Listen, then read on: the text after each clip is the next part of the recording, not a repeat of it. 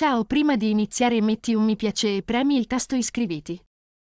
Durante la diretta dell'Isola dei Famosi 2023 è esploso un intenso scontro verbale tra Natalie Caldonazzo e Andrea Lo Cicero. Ilari Blasi ha proiettato loro un video riassuntivo degli scontri avvenuti durante la settimana. Andrea ha rivolto alla showgirl parole taglienti come arrampicatrice sociale, opportunista, falsa. L'atmosfera si è surriscaldata e i due sono entrati in una lite accesa. Natalie Caldonazzo ha voluto precisare. Mi ha anche chiamato testa di cazzo asterisco asterisco e moterfu asterisco asterisco e deve avere il coraggio di dirlo. Alvin l'ha richiamata dicendo Manteniamo un equilibrio, siamo in prima serata. Tuttavia, la showgirl ha continuato ad esprimere il suo disgusto nei confronti di Andrea Lo Cicero. È falso, non riesco neanche a guardarlo, mi viene da vomitare. A quel punto, Lo Cicero ha spiegato le ragioni di tanto astio. Prima di tutto, hai detto alle persone che stavano in albergo che io ti disgustavo.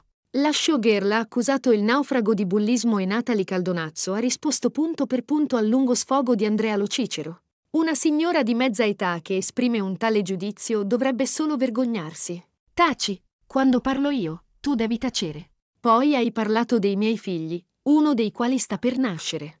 Sei irrispettosa, maleducata e una persona che si arrampica socialmente. Rubi, ti comporti male e fai giochi da adolescente. Quante volte sei andata all'infermeria per fingere infortuni? Tante. Questo è un atteggiamento irrispettoso nei confronti di chi compete. Io sono un atleta e sono venuto qui per giocare. Tu sei una soubrette mancata, ti sei allontanata da ciò che facevi e, infatti, non fai più nulla.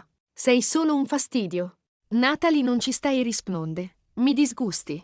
Dire Moterfu asterisco asterisco era una madre è terribile. Etichettarmi come arrampicatrice sociale, nonostante io non abbia mai accettato un euro da un uomo, è vergognoso. Continuo a fare teatro proprio perché non ho opportunità facili. Questo signore maleducato non sa che certe cose non si dicono. Io non mi sono mai permessa di usare volgarità nei suoi confronti. Ha scatenato tutti contro di me, mi sta facendo del bullismo, mi fa schifo. Sta svuotando il mare delle conchiglie, specie in via di estinzione. E inoltre non mi fornisce nemmeno il cibo. Da parte sua, Andrea ha concluso con una frecciatina finale. Sei una serpe e lo rimarrai, sei insignificante.